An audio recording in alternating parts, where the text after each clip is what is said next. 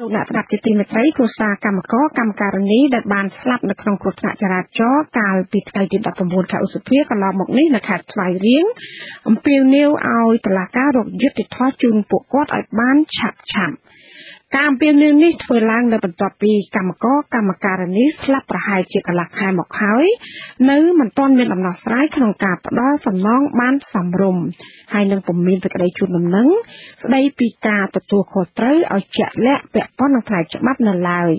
ចាលោកម៉ាន់សុធីមានសេចក្តីរាយការណ៍ជំវិញស្ថានភាពគ្រួសាររបស់ជនរងគ្រោះ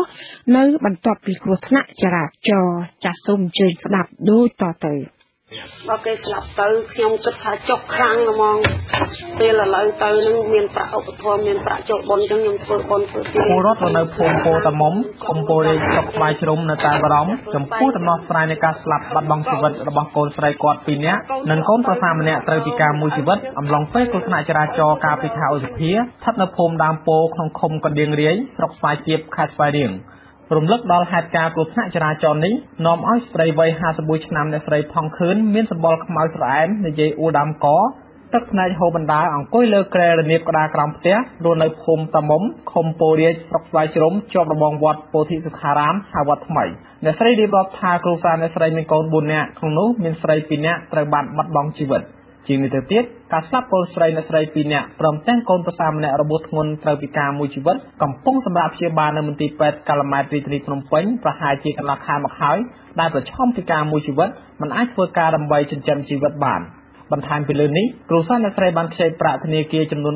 3500ដុល្លារដើម្បីធ្វើផ្ទះនិងទិញម៉ូតូដោយបង់រំលោះក្នុងមួយខែជាង200ដុល្លារហើយប្រាក់ទាំងនេះកូនស្រីអ្នកស្រីដែលស្លាប់ទាំងពីរនាក់និងកូនប្រសាជាអ្នកដែលប្រាក់សងធនាគាររាល់ខែហើយគិតមកដល់ពេលនេះទើបតែសងធនាគារបានតែ5ខែប៉ុណ្ណោះនេះជាមូលហេតុចម្បងបណ្ដាលឲ្យគ្រួសារអ្នកស្រីប្រឈមចំពាក់បំណុលធនាគារមិនអាចរកប្រាក់សងបានគ្រប់គ្រាន់នោះទេ ហើយនេះហើយទើបអ្នកស្រីអំពីវនេះឲ្យស្ថាប័នតុលាការស្វែងរកយុត្តិធម៌ជូនគ្រួសារអ្នកស្រីឲ្យបានឆាប់ឆាប់អត់មានណាសងទេបានរកមកហូបដូចឪវាដោះស្រាយកូនធ្វើការហ្នឹងបើកមកថែមម៉ោងថែមអីកូនកូនខ្ញុំកូនបកើតហ្នឹងថ្ងៃបុណ្យក៏ធ្វើថ្ងៃអាទិត្យក៏ធ្វើដើម្បីយកលុយហ្នឹងមក បើក៏រួចបងហើយចាយវាសង្ឃឹមលើកឪវាប្តីវាស្រីដដែលបន្តថាបន្ទាប់ពីមុខរបរធ្វើស្រែដែលមានដីស្រែមិនដល់1ហិកតាផងអ្នកស្រីឆ្លៀតដើររើអេតចាយដើម្បីរកប្រាក់បន្ថែមផ្គត់ផ្គង់គ្រួសារនិងមើលថែចាយចៅនៅផ្ទះ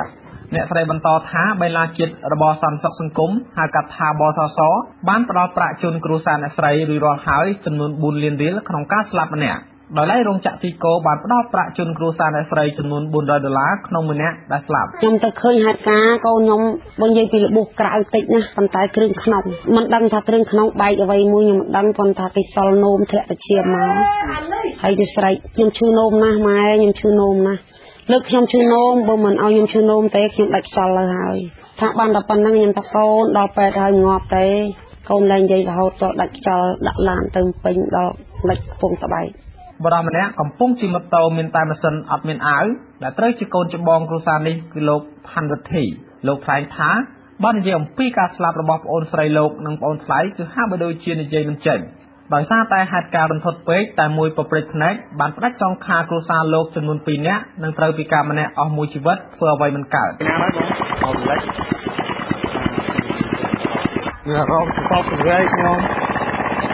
ចង់ថាយំស្រែកតែយំវាមិនកើតវាអែតពេកស្ដែងស្ដែងពេកពេក ក្នុងករណីនេះមេឃុំពូរាជលោកលក្ខុនឲ្យដឹងនៅថ្ងៃទី2មិថុនាថាតុលាការនឹងក៏អញ្ជើញលោកនិងអ្នកពាក់ព័ន្ធក្នុងករណីនេះទៅស្រាយបំភ្លឺនៅសាលាដំបងខេត្តស្វាយរៀងនៅថ្ងៃទី8មិថុនាខាងមុខលោកបន្តថាបន្ទាប់ពីមានការស្លាប់កម្មករកម្មការិនីនៃគ្រោះថ្នាក់ចរាចរណ៍លោកអង្កេតឃើញថាក្នុងឃុំពូរាជមានយន្តដឹកកម្មករចំនួន4គ្រឿងរៀងរាល់ថ្ងៃដែលចាប់ផ្ដើមដឹកកម្មករទៅរោងចក្រនៅក្រុងបាវិតជិតព្រំដែនកម្ពុជាវៀតណាមរហូតដល់ម៉ោង5ល្ងាចទើបរថយន្តនេះដឹកកម្មករត្រឡប់មកវិញជាងនេះទៅទៀតរថយន្តដឹកកម្មករនេះផ្ទុកកម្មករចំនួនជិត40នាក់ឬអាចលើសពីនេះរៀងរាល់ថ្ងៃលោកថាបើទោះបីមានការស្លាប់កម្មករកម្មការិនីនេះនៅតែមានកម្មករកម្មការិនីជាច្រើននៅតែជិះរថយន្តនេះទៅធ្វើការដដែលព្រោះពួកគាត់អត់មានជម្រើសក៏ប៉ុន្តែនៅមានកម្មករកម្មការិនីមួយចំនួនតូចឈប់ធ្វើការនិងធ្វើដំណើរទៅរាជធានីថ្ងៃដែលគ្រោះថ្នាក់ចរាចរណ៍ហ្នឹងវាដល់វងមូលស្វ័យរៀងហ្នឹងបាទធូកង់ឡានហ្នឹងផ្លាស់ជើងកង់ឡានហ្នឹងចុះអស់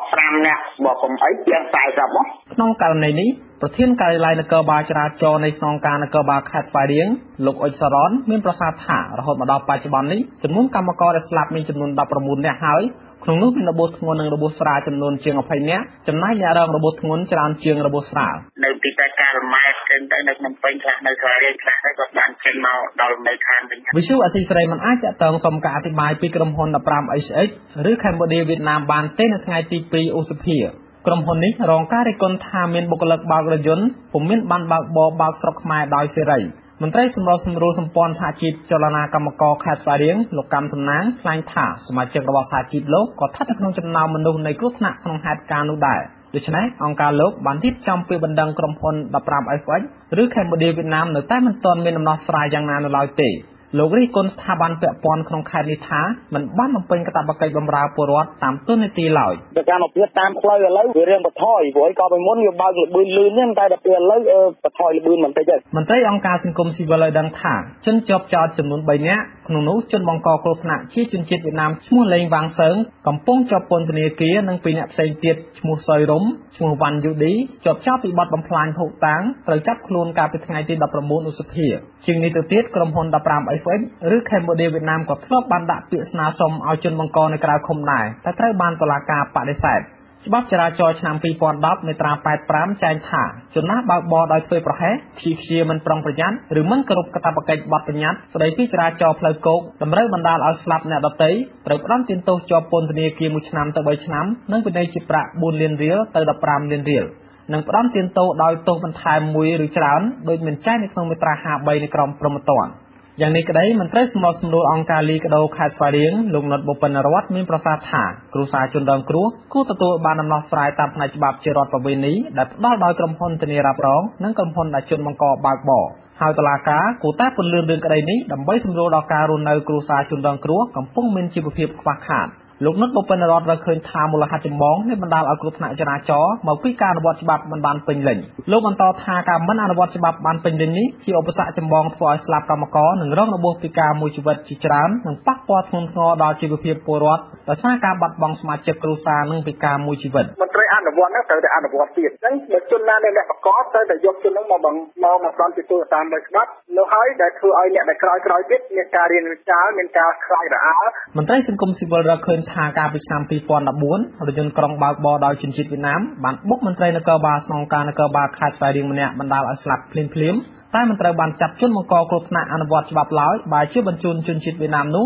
ទៅប្រទេសវៀតណាមទៅវិញ ទោះយ៉ាងណា មន្ត្រីសង្គមស៊ីវិលរំពឹងថាច្បាប់ចរាចរណ៍ថ្មីដែលក្រុងអនុវត្តឆាប់ៗនេះនឹងអាចកាត់បន្ថយគ្រោះថ្នាក់ចរាចរណ៍បានបើអ្នកបើកបរទាំងអស់ចូលរួមប្រតិបត្តិទន្ទឹមនឹងនេះអំពើពុករលួយក៏អាចកើតមានឡើងច្រើនដែរប្រសិនបើរដ្ឋាភិបាលមិនមានយន្តការច្បាស់លាស់ក្នុងការអនុវត្តច្បាប់នេះឲ្យមានប្រសិទ្ធភាពទេខ្ញុំម៉ែនសុធីវិសុអាស៊ីសេរីពីខេត្តស្វាយរៀង